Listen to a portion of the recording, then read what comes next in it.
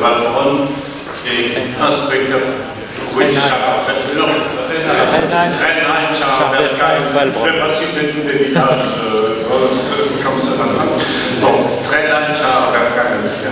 Inspecteur ecclésiastique de l'inspection des ordres Il était à un moment donné aumônier universitaire à Strasbourg et il est, pour le sujet qui nous intéresse maintenant, surtout l'auteur de l'ouvrage publié il y a trois ans, La demeure du silence, un ouvrage qui a connu un certain retentissement.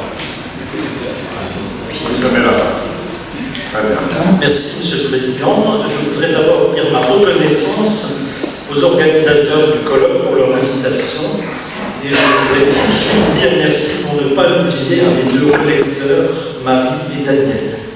Je suis très heureux de pouvoir participer à cette place au présent colloque en octobre 2022, deux jours après une conférence organisée par la Société d'histoire et d'archéologie de Molsheim et environ, à Dorlisheim, dans le Bas, un paroissien, à la sortie du culte, confie cette remarque au pasteur de sa paroisse.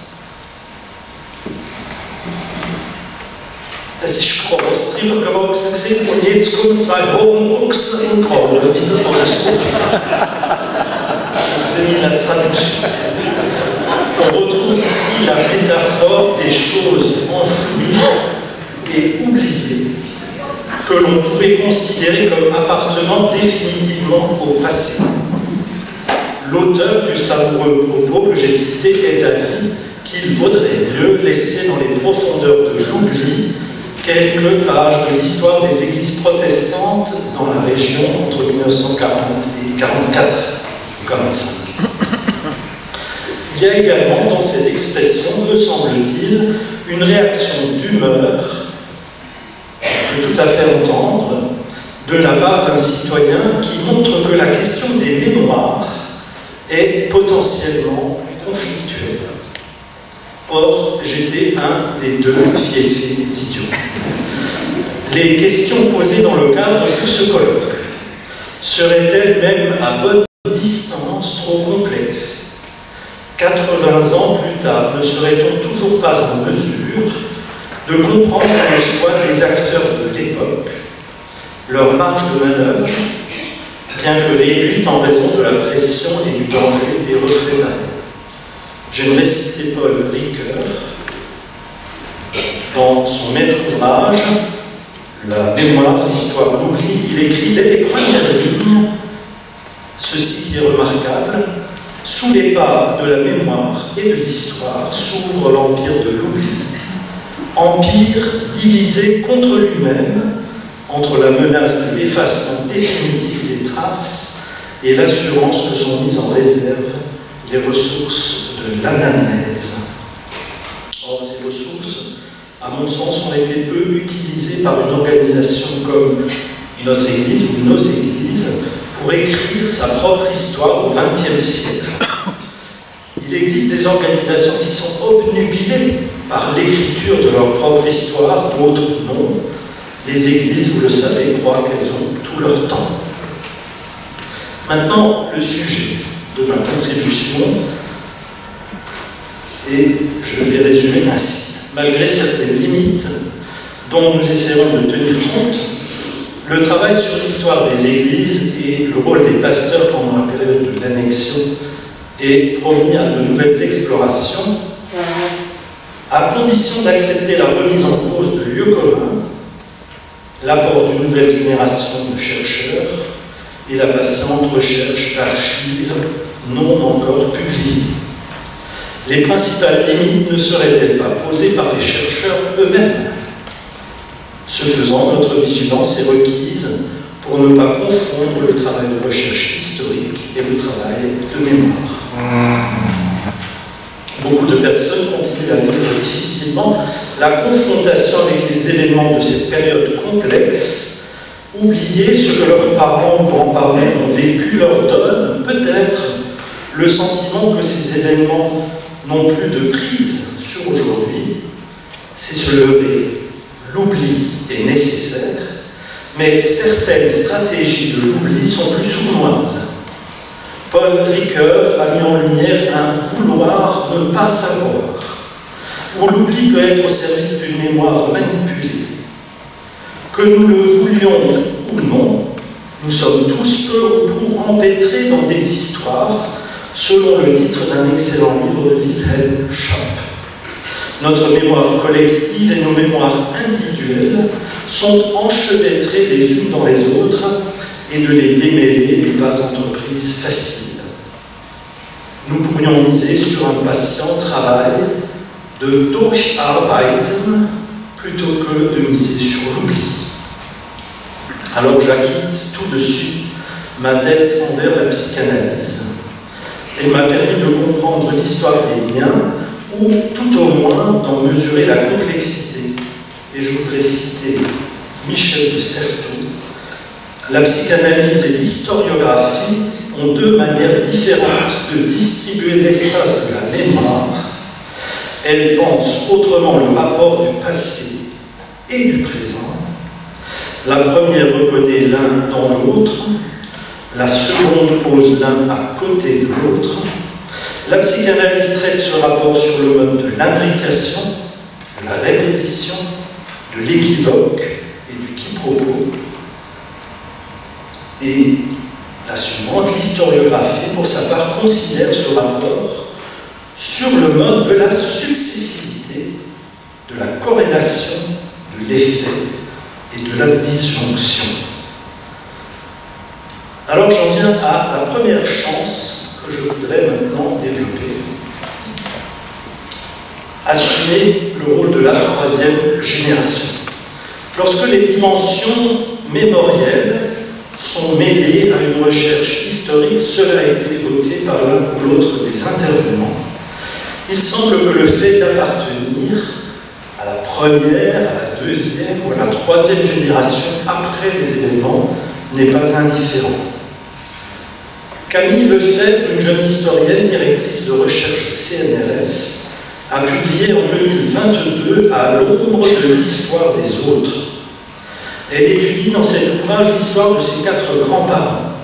Dans l'une des branches, des Juifs originaires de la région d'Odessa ont été contraints à l'exil.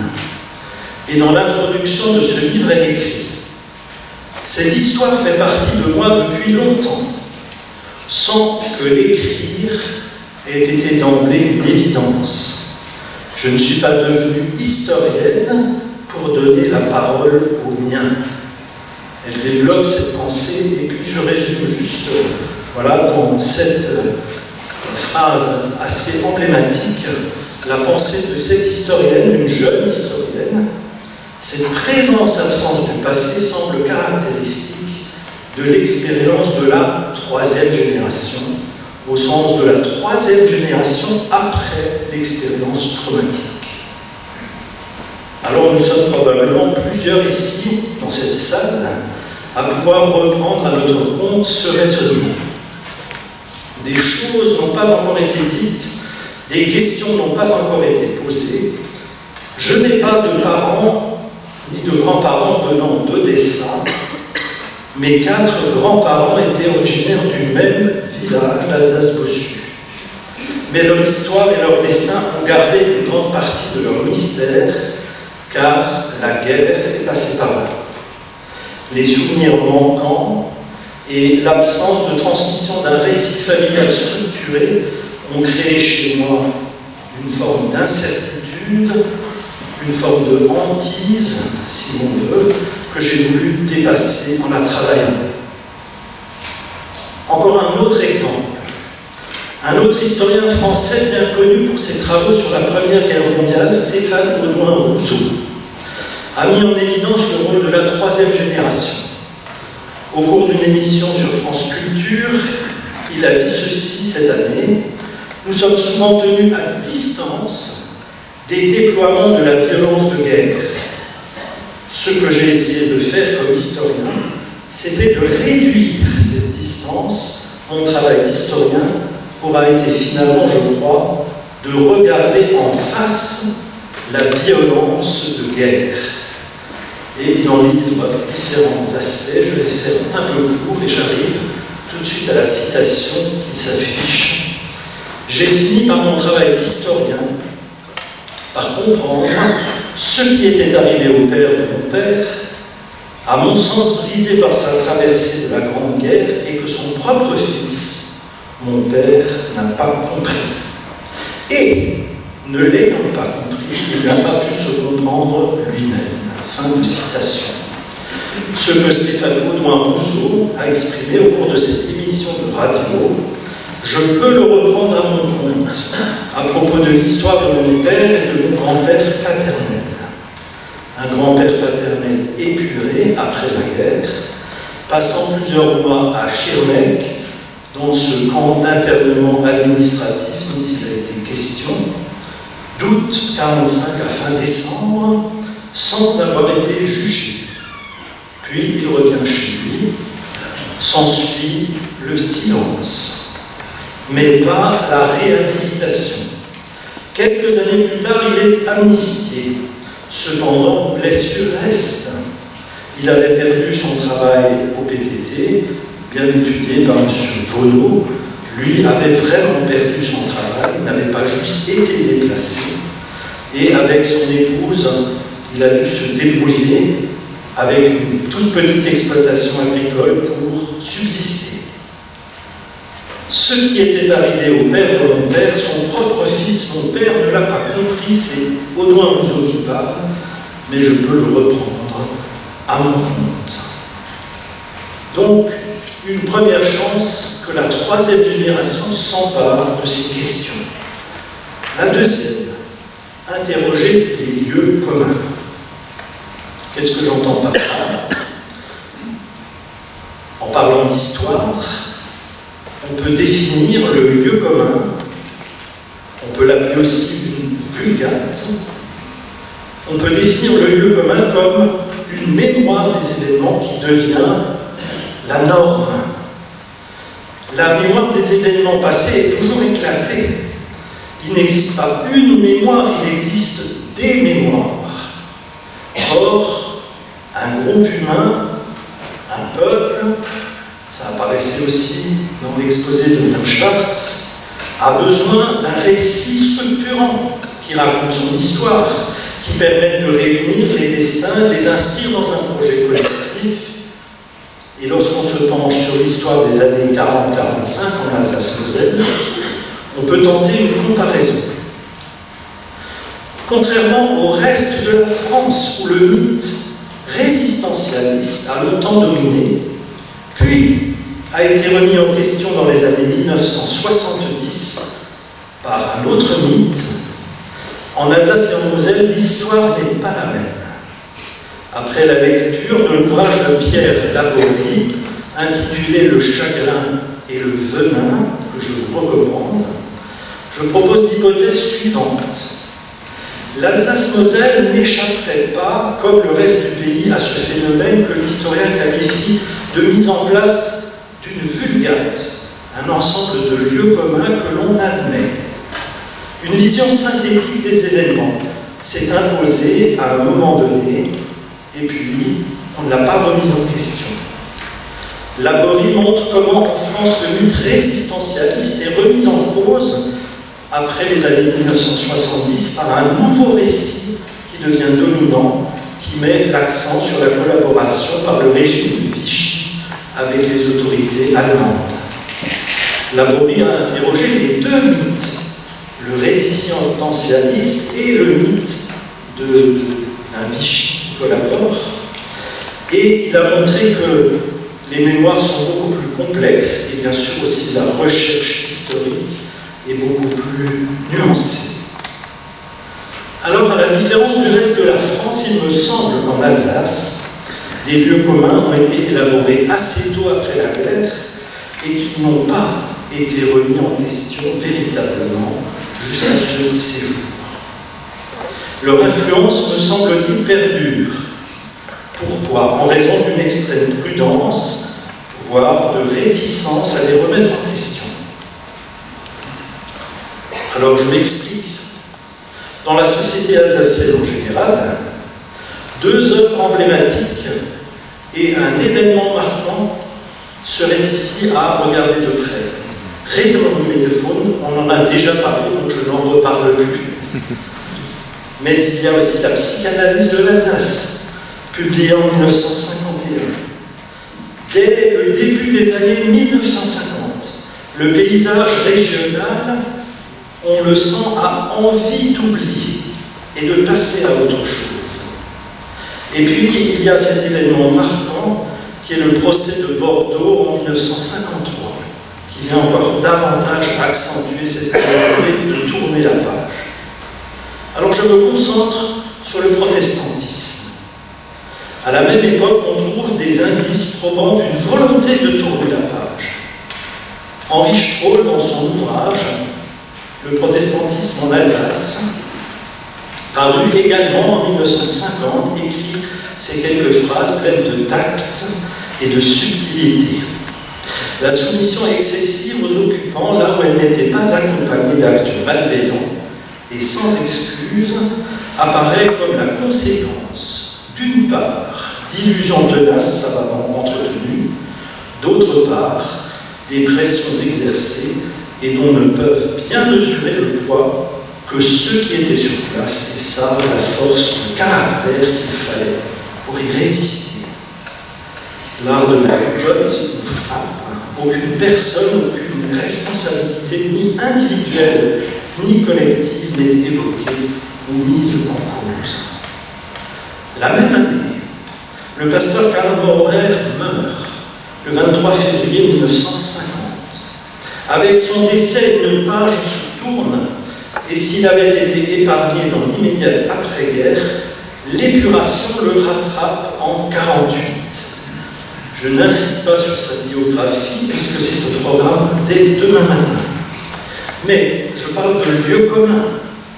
Et il me semble que dans la nécrologie qui est publiée après sa mort, on trouve le début d'une version officielle de son action. Voici une photographie de cette nécrologie publiée dans l'Almanach luthérien, et voici un extrait qui me paraît intéressant.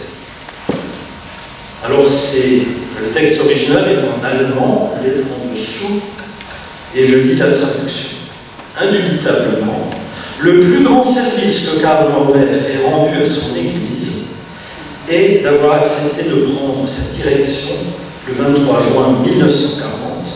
Il le fit sans illusion, sans crainte, il s'opposa aux ingérences de l'administration civile. En écrivant ceci, l'auteur laisse entendre que le pasteur n'avait pas le choix de dire oui ou non, car il voulait éviter une reprise en main encore plus forte, peut-être par un, un Deutsche Christ. Le texte souligne encore qu'il n'avait rien de commun avec l'idéologie nazie, sans illusion, sans crainte. Ces deux affirmations ont été répétées avec beaucoup de constance. Dans les publications que j'ai consultées, les auteurs vont presque tous dans ce sens. Bernard Fogler, qui a été cité, Alphonse Hirjude, dans la notice du nouveau dictionnaire biographie de biographie alsacienne, le professeur Marc Linhart, en 2008, n'hésite pas à utiliser le terme de résistance. Et je voudrais donc, vous m'avez vu venir, remettre en question ce que je considère là comme un lieu commun. Mais je prends quelques précautions. Alors avant de pousser un peu plus loin le bouchon, j'emprunte encore deux termes à deux historiens pour cadrer un peu sur le plan de méthodologie ce que je voudrais avancer. Stéphane Michonneau, un historien qui enseigne à Lille, nous apprend que l'histoire et la mémoire ont un point commun, qu'elles sont des formes de narration du passé, mais qu'elles sont distinctes. Et lui, il pousse le bouchon assez loin, c'est pour ça que sa citation m'intéresse. Il dit elles sont distinctes par leur visée, puisque la narration historique a une visée véridictionnelle, il s'agit d'établir une narration de ce qui s'est réellement passé, encore faut-il penser qu'on y arrive. Et puis, les récits de mémoire ont pour visée de construire un fil, une filiation entre des événements passés et présents que l'on assume en tant qu'héritier. et un futur, puisqu'il s'agit aussi de transmettre des valeurs morales et politiques aux générations à venir. Et puis j'ajoute encore une distinction heuristique, merci, qui est de la, issue du travail d'une sociologue, Marie-Claire Valabre, à propos de ces difficiles questions de mémoire. Elle distingue deux formes dont la mémoire se construit, la mémoire choix et la mémoire poids.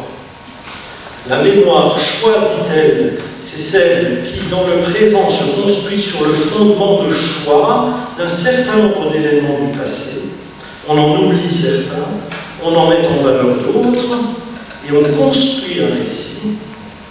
Et puis la mémoire poids, c'est différent. C'est quelque chose qui fait droit à un traumatisme, un traumatisme lié au passé et qui pèse sur le présent. Ces deux formes de récit mémoriel existent. Elles sont en quelque sorte vraies toutes les deux, mais peut-être qu'il s'agit de les distinguer. Je me reconnais davantage dans la deuxième forme, celle qui essaie d'élucider un poids du passé qui pèse sur le présent. Alors, pour en revenir maintenant à ce que je voulais souligner des lieux communs tels qu'ils m'apparaissent. Je peux me tromper, mais je crois que c'est intéressant dans ce colloque de faire cette proposition qui n'est pas la, proposition majoritaire. Je pense qu'on peut interroger ce que je disais tout à l'heure du rôle de Karl Maurer à la tête de l'Église luthérienne. Peut-on se risquer à interroger le fait même qu'il ait accepté le poste qui lui a été proposé? Il aurait pu renoncer. Il aurait pu démissionner en cours de route. Rappelons qu'il avait refusé plus jeune un poste important dans le domaine des missions luthériennes. Non seulement il n'a pas refusé d'être président d'Église en 1940, mais il a persévéré à ce poste et il a demandé et obtenu la nationalité allemande en 1943. Et quels sont les facteurs qui ont le plus joué dans sa décision? La conviction que le nazisme vaut mieux que le bolchevisme, ça c'est sûr et certain. Le projet d'une église différente, qui dans de nouvelles circonstances pourrait devenir une église plus fidèle à sa propre confession de foi. C'est très fort dans tout ce mouvement autour de Karl Et il y a un troisième facteur encore plus déterminant, sans doute, c'est la langue et la culture, qui sont, lorsqu'on lit quelques documents, ça saute aux yeux, c'est ça qui est fort chez Maurer. Maurer considère les nazis comme des Allemands. Dans une remarque de son journal, que l'on peut maintenant lire parce qu'il est accessible aux archives départementales du Bas-Rhin, il écrit ceci. Ces jours-ci, c'est après la guerre. Ces jours-ci, j'ai donné mon accord pour entrer au comité du Neuenberg. Ceux qui ne connaissent pas Neuenberg, un hôpital protestant situé à Ingviller. Et puis, il évoque la place mise en cause par un autre membre de ce comité, et il dit à propos de cette personne, ce n'est pas un crime d'avoir travaillé avec les Allemands pendant ces quatre années, et surtout ce n'est pas quelque chose qui rendrait inapte au ministère pastoral. Avoir travaillé avec les Allemands. Après la guerre, il continue de les appeler les Allemands, il n'a pas changé et il ne les appelle pas désormais les nazis. Cette note de journal, je la rapproche évidemment, vous allez me dire ce n'est qu'une note de journal, mais je vais essayer de, donner quelques éléments en plus. Je formule également l'hypothèse selon laquelle une ambiance générale favorable à l'antisémitisme a pu jouer un rôle dans les choix des acteurs de cette époque. Et alors là, évidemment, J'avance avec beaucoup de prudence parce que dans le contexte actuel, c'est un sujet évidemment très, très brûlant. Mais si on parcourt attentivement l'hebdomadaire Evangelische Lutherische Friedensbote que dirigeait Maurer pendant les années 20 et 30, on lit des choses extrêmement intéressantes sur la Judenfrage, la question juive. On lit des avis différents. On lit un débat qui a lieu dans ce cercle. Certains considèrent cette question juive comme une question véritablement déterminante qui va montrer où se situe l'Église protestante. Et d'autres persistent à voir les juifs comme on les voyait au XVIe siècle. Un bon juif est un juif converti, ce qui évidemment relativise le danger de l'antisémitisme.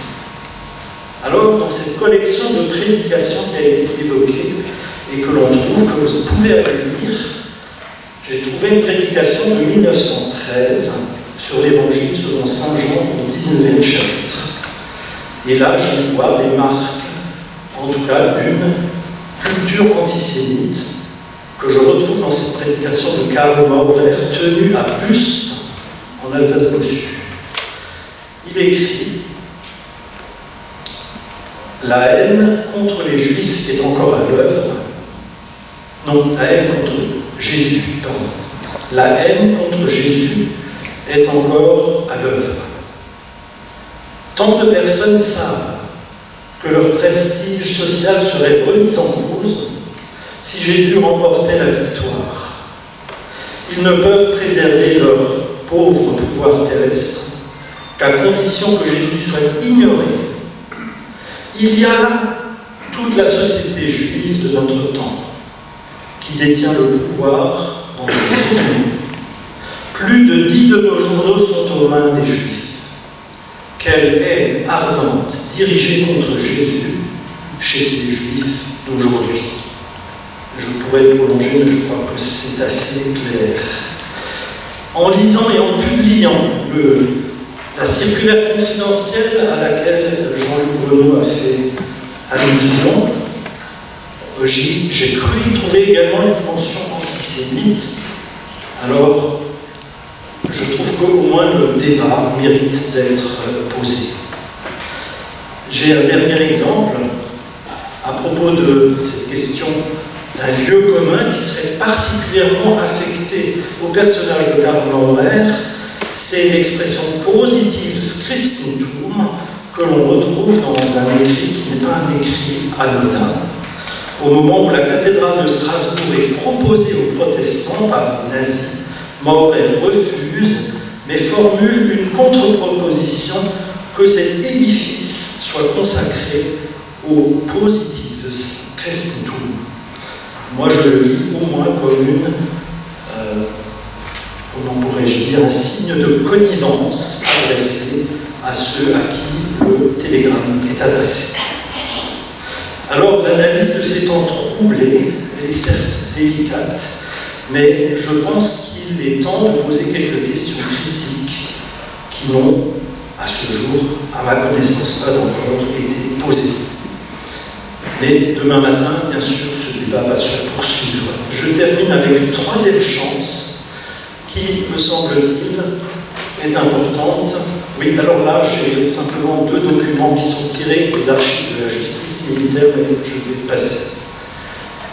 Troisième chance, découvrir et publier des archives.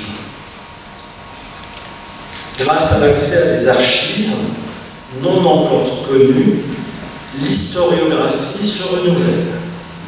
En ce moment, l'accès aux archives du Vatican renouvelle l'historiographie et la recherche sur la période du pontificat de Pie.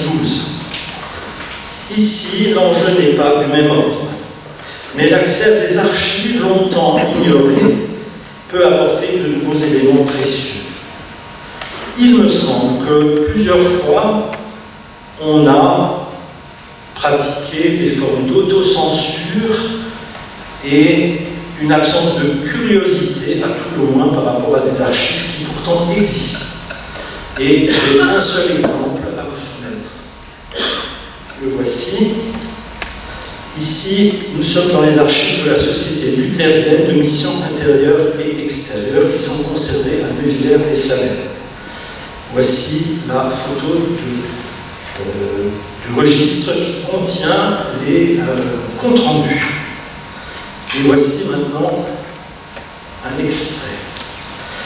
C'est une assemblée générale extraordinaire qui se tient le 27 août 1940 à Strasbourg et nous avons surligné quelque chose que vous n'arrivez peut-être pas à déchiffrer, je vous le dis. Für die Wende der Geschichte können wir nur dankbar sein. Eine entscheidungsvolle Stunde ist angebrochen. Christi Diener zu sein könnte uns erschrecken.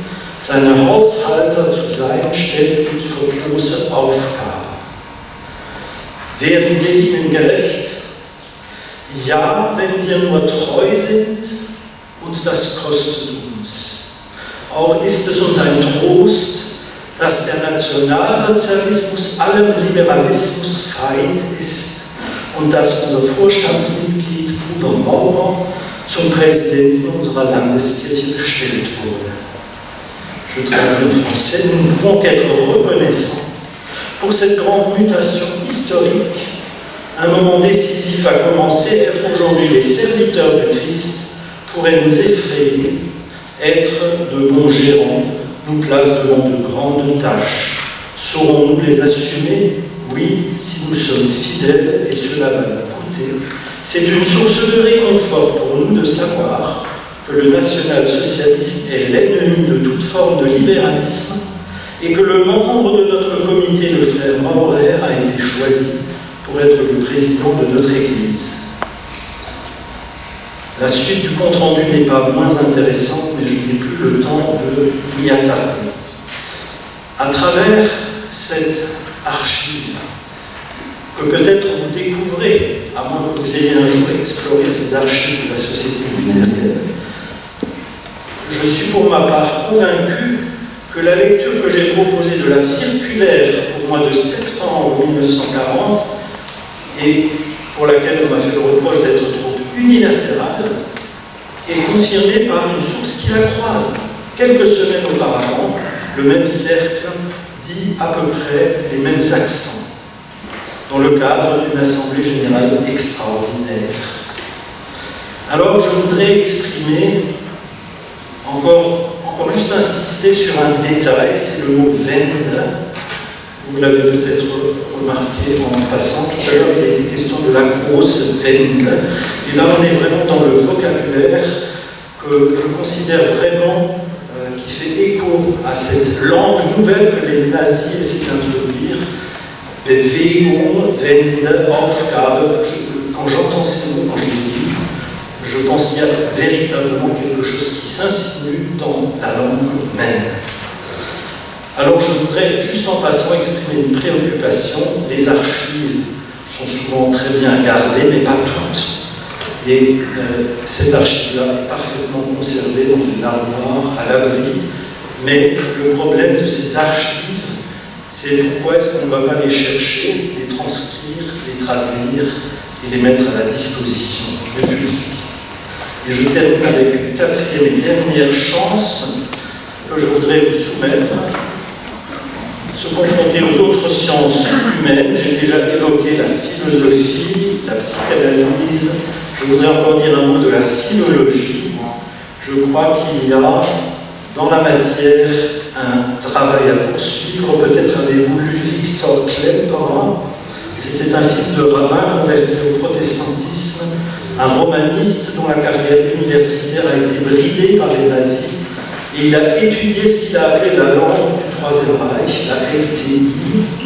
Dès 1933, il avait noté que des mots appartenant à une sphère particulière pénétraient dans d'autres sphères, et il a appelé ça un phénomène de subversion du sens. Gleichschaltung, c'est le mot le plus connu. Mais je crois aussi le mot Aufgabe, tel qu'il a été parfois repris, y compris par les protestants, avait changé de sens. Voilà, je crois que je vais m'arrêter là, je conclus. Nous espérons avoir apporté à ce colloque une contribution peut-être un peu dérangeante, mais je l'espère tout simplement original dans le concert des autres contributions. Je crois que les recherches historiques sur le rôle des églises protestantes se poursuivent, que ce soit en Alsace-Moselle, en Allemagne. Je crois aussi à un intérêt grandissant des comparaisons interrégionales, interétatiques. Mais la distance que nous prenons aujourd'hui avec les événements semble favorable à de nouvelles manières d'aborder le sujet. Et je pense qu'on devrait pouvoir oser collectivement remettre en question certaines convictions établies. Des archives sont à découvrir, il reste à traduire énormément de sources, et je laisse les derniers mots à un de mes professeurs qui m'a écrit quelques semaines avant de mourir ceci.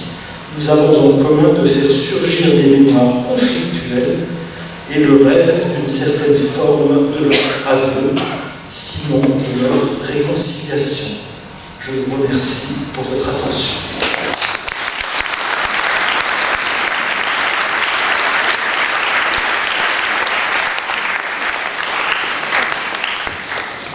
Voilà, un merci à Gérard Janus pour cette présentation et la parole est à l'Assemblée.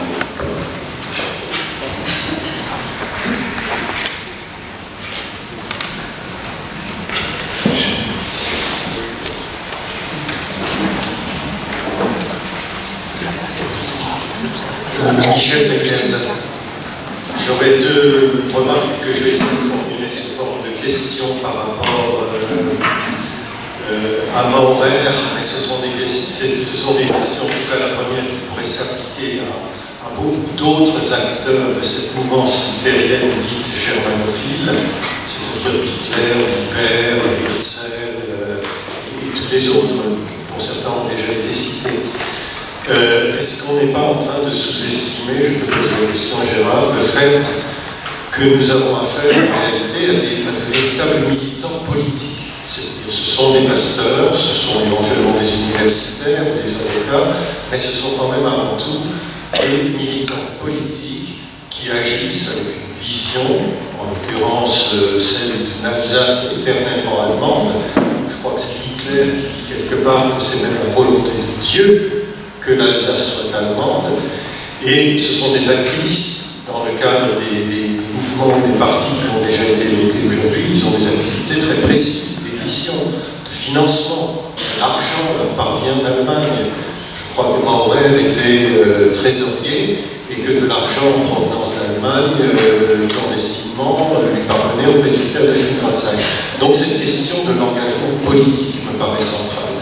Et deuxième question par rapport à ça, s'agissant de Maurer, je crois me souvenir, il me semble même que je le dis dans mon bouquin, mais j'ai un peu oublié ce que j'ai écrit, euh, Maurer n'a pas été sollicité pour devenir président de l'église luthérienne tout à coup comme ça en mai 40. Il me semble, si ma mémoire est juste, que euh, c'est Didier Sturzer qui évoque ça dans son mémoire de maîtrise, à savoir que la nomination de Maurer à la tête de l'église luthérienne avait fait l'objet d'une transaction, d'un accord préalable via Robert Ernst, bien avant 40 il était entendu que si les Allemands venaient en Alsace, Maurer serait nommé euh, président de l'église. Donc préalablement, les nazis avaient prévu ça. Alors je veux bien essayer de répondre sur la première question. Je pense que justement cette version entre guillemets officielle du rôle de Karl Maurer euh, dit aussi que Maurer s'était distancé de la politique. Alors euh, j'entends bien euh, que tu ne crois pas à cette version officielle, mais c'est ça que l'on dit dans beaucoup d'ouvrages, c'est qu'il avait été en quelque sorte rappelé à l'ordre par le directoire après son engagement fort dans les années 20 et qu'il avait par la suite euh, pris des distances par rapport à son engagement purement politique. Euh, je n'ai pas d'éléments pour euh, aller plus loin, mais il y a des archives aussi à Schwindratzheim. Je dis ça en passant. J'étais récemment dans cette paroisse, j'y ai croisé le pasteur qui vient de changer de poste et je l'ai interrogé sur les archives. Maurer était comme pasteur 20 ans là-bas il savait qu'il y avait des archives, mais il n'était jamais allé voir. Donc je pense qu'il y a aussi un travail à mener dans, les archives de la paroisse protestante de Schwinz. Et pour prolonger un petit peu sur l'horaire, mais demain matin, Mathieu Arnold a, tout un exposé là-dessus, je ne voudrais pas trop insister. J'ai eu une suggestion par un ami historien qui me disait que finalement, euh, quand on parlait de Pétain en France, on disait qu'il avait été le bouclier euh, par rapport à, l'influence des autorités nazies. Peut-être qu'il y a quelque chose de ce type dans le récit que nous avons ici euh, en Alsace-Moselle sur le rôle de père. On l'a présenté comme un, bouclier, un défenseur. Ce qu'il était réellement, c'était un défenseur, euh, on l'a vu dans le titre de Martin Zigwald, de son Église et de sa Heimat. Il s'est toujours engagé pour ces deux choses. Mais peut-être qu'aujourd'hui, il faut essayer de dépasser un peu le mythe, si c'est un mythe, hein, ce mythe du bouclier qui a défendu son Église contre toutes les ingérences possibles. Et moi j'ai envie d'interroger quand même tout le parcours de cet homme et qu'est-ce qui a fait qu'il a changé. Euh, je n'ai pas cité un, extrait de son journal, je le rajoute maintenant, après la guerre, assez longtemps après la guerre, il écrit dans son journal euh, à propos des élections qui ont lieu en France pour la première fois après la Deuxième Guerre mondiale, Sobald ein Volk anfängt zu wählen, ist es zum Abstieg verurteilt. Dès qu'un peuple se met à voter, il est condamné au déclin. Ça voulait quand même dire que le principe du Führer avait laissé aussi des traces chez lui. Euh, Frédéric Nodufour, je voulais juste confirmer ce que Gérard Janus vient de dire au sujet du bouclier qui est bien un mythe y compris pour le maréchal Pétain. C'était une thèse qui a été défendue dans les années 50, faisant de Pétain le bouclier, de De Gaulle euh, l'épée. Mais, euh, les historiens ont vraiment démonté cette thèse, c'est important de, le redire. Euh, et, toutes les archives montrent le rôle actif de Pétain pour soutenir la politique nazie, notamment dans sa dimension antisémite. Donc méfions-nous des présentations actives.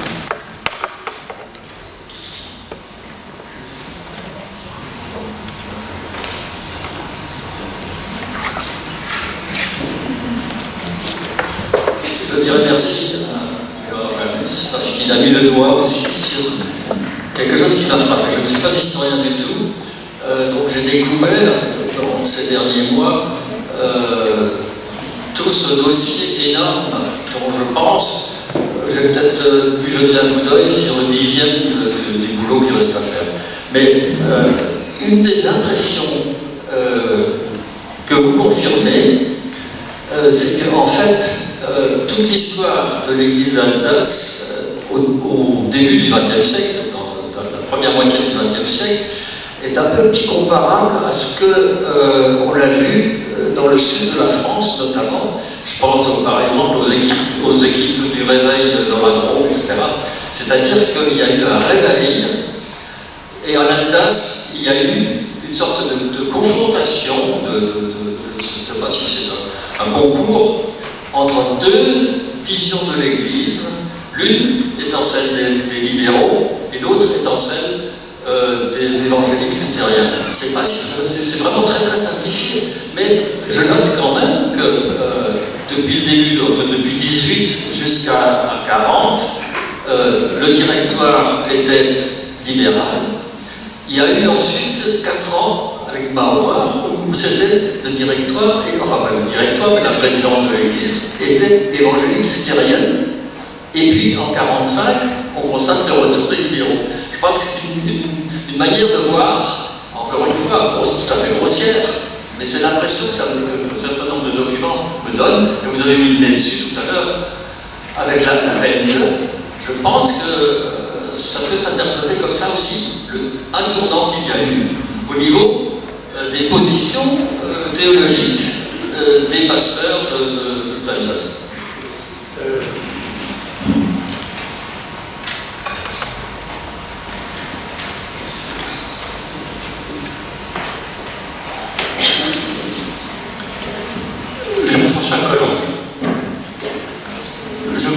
croire et tout ce qui a été dit. Très bien, mais je connais un peu, j'en ai un peu ras-le-bol de Morel.